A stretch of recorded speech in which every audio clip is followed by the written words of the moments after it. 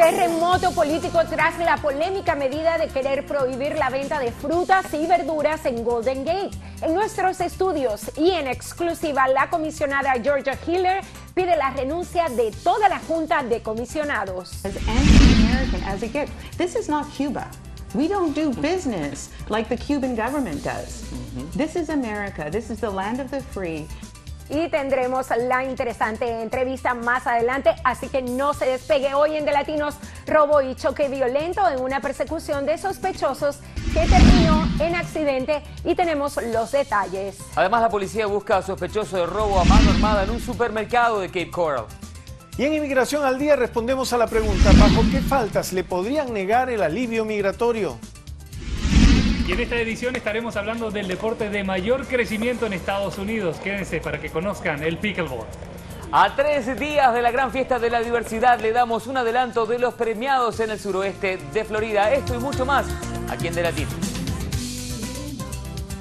Gracias, como siempre, por estar con nosotros. Si un robo violento a una tienda terminó con una persecución a alta velocidad y un grave choque en la madrugada de hoy. Autoridades policiales informaron que un hombre robó en una 7-Eleven sobre Pine Ridge Road y la US 41 al norte de Fort Myers alrededor de las 2 de la madrugada de hoy. Las fuentes agregaron que intentaron parar al conductor de un Pity Cruiser, pero se dio a la fuga por el puente sobre el Caloosahatchee y terminó a 5 millas del lugar. El conductor, cuyos datos no fueron informados, fue trasladado de emergencia al Lee Memorial Hospital, donde fue atendido y se encuentra con custodia policial. No hubo otros heridos. Por otra parte, el Departamento de Policía de Cape Coral está investigando un robo a mano armada que se produjo en un supermercado Publix, ubicado al 127 de Coral Parkway.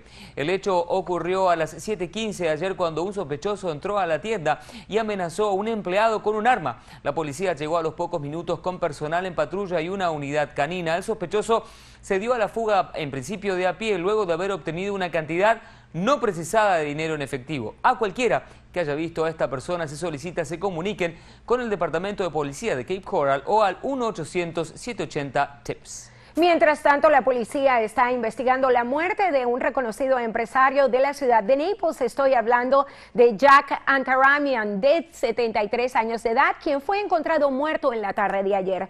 Se trata de un poderoso empresario y reconocido demócrata de nuestra zona. En los 90 fue uno de los pilares de la revitalización de propiedades y en 2008 realizó una importante campaña de recaudación de dinero para el vicepresidente Joe Biden. La policía está hermética en detalles en torno al fallecimiento de este empresario y se limitó a confirmar que su cuerpo está en la morgue judicial a la espera de resultados que identifiquen la causa de su muerte.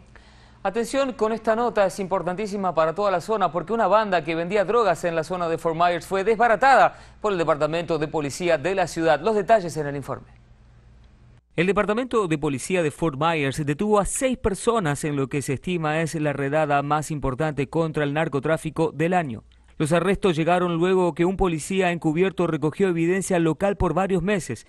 En los allanamientos, la policía logró decomisar drogas en estado de máxima pureza, balanzas de precisión, elementos de corte, químicos para aumentar el peso y cantidad de la droga, elementos para la distribución, dinero en efectivo, dos armas de fuego, celulares y otros elementos vitales para la causa. Los detenidos fueron identificados como Thomas Mills de Lehigh Acres, Christopher Knack de Fort Myers, Michael Woody de Fort Myers, David Thomas de Fort Myers y Johnny Cluston de la misma ciudad. Los seis tienen diversos cargos de posesión de marihuana y cocaína para consumo, distribución y venta en público agravado por la cercanía a escuelas o iglesias. La banda operaba en barrios bajos de Fort Myers y se estima que es una célula de distribución o parte de una empresa mucho más grande con conexiones a lo largo del estado. Los seis están detenidos en la cárcel del condado Lee sin posibilidad de salir bajo fianza. Las fuentes policiales informaron que esperan poder realizar más detenciones en los próximos días a la espera de órdenes de allanamiento libradas por la justicia. Desde el condado Lee informó para De Latinos Noticias Hernán Frato. Y bueno, muchos se quejan de las temperaturas en el suroeste de Florida, ya que hay unos días que tenemos un poco de calor y otros días un poco de frío como esta mañana. Pero vamos a ver cómo está la jornada parcialmente nublada en 62 para esta noche. Además, vamos a ver cómo está la temperatura para mañana, 78 grados, ya sube un poco más con los cielos parcialmente nublados y tal vez algunas precipitaciones. Mientras tanto, para el resto de la semana tendremos un sol radiante el próximo sábado y también el día del Face Awards tendremos un clima espectacular. Así que tome nota del clima. Vamos a ver ahora dónde se encuentran los controles de tránsito para el día de mañana. Slater Road al norte de Fort Myers, State Road 82 en Lehigh Acres, Hard Road al norte de Fort Myers. A los automovilistas les pedimos respetar siempre las velocidades máximas y les recordamos todos los días que textear y manejar es la primera causa de accidentes en el país.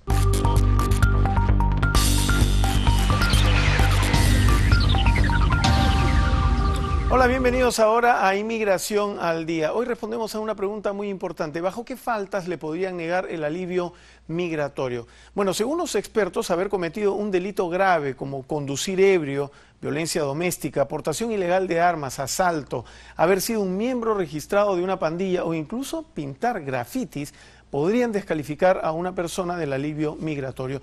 Aunque los requisitos para la acción diferida para padres, el DAPA, aún no han sido publicados por el gobierno federal, se cree que serían similares a los establecidos para los estudiantes o soñadores tales como no haber sido condenado por un delito serio o por tres o más delitos menores. Si alguien tiene un récord criminal o infracción de tránsito, debe pagar las multas recibidas y reunir los documentos referentes a su historial criminal como huellas de la Oficina Federal de Investigaciones o el FBI y el Departamento Federal de Justicia, así como disposiciones y órdenes de la Corte.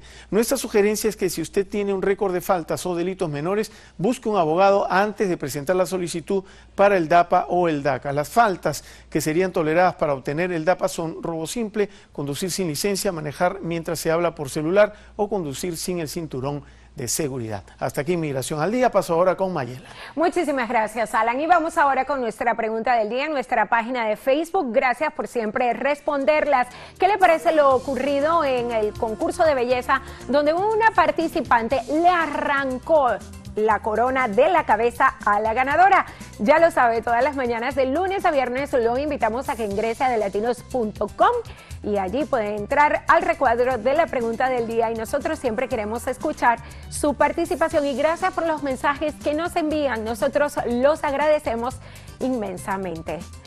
Y no se pierda la entrevista exclusiva a la comisionada Hiller sobre la polémica por el intento de cierre del mercado en Golden Gate. Tendremos los detalles. Además, eh, falta muy poco para la gran fiesta de la diversidad. Le adelantamos parte de este gran festejo. Regresamos enseguida aquí en De Latinos. Quédense con nosotros.